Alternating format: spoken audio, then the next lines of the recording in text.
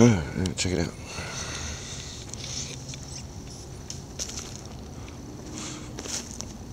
Walk down in there with a chainsaw. Start cutting.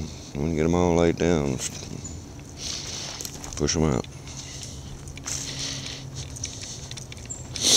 Hmm. I've got a world of mess back here. this is all cut by hand.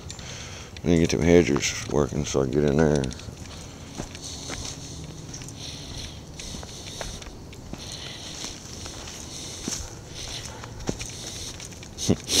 I've been deforesting. Hold on a minute, it's a maze. Uh, you see that pile? That pile goes a long ways. We're gonna go back here and look this other. I gotta start stuffing it in here. So I come in and I cut all this out.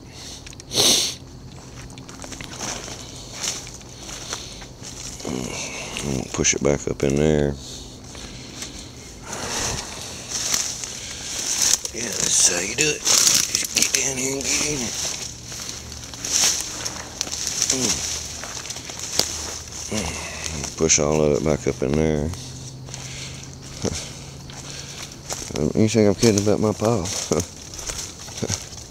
That's where it starts, right there.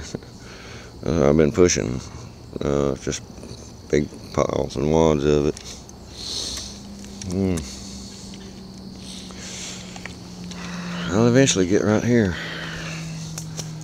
I will. See the drain over there. I'll take and cut all this down and let it lay that away. Mm-hmm.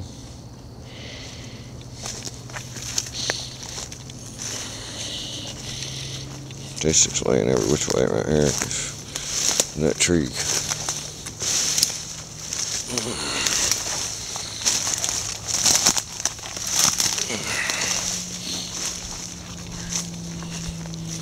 Well, there are some monster vines in here. I'm talking about that big round.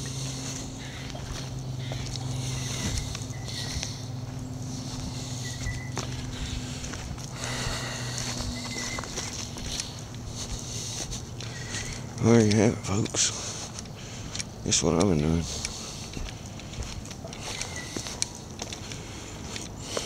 Getting close. Getting close. Idealistically, what I'd like to have is my fish farm going, but hey, you know, might not ever happen. At least this will be clean. I've done left my mark. That's it, left my mark.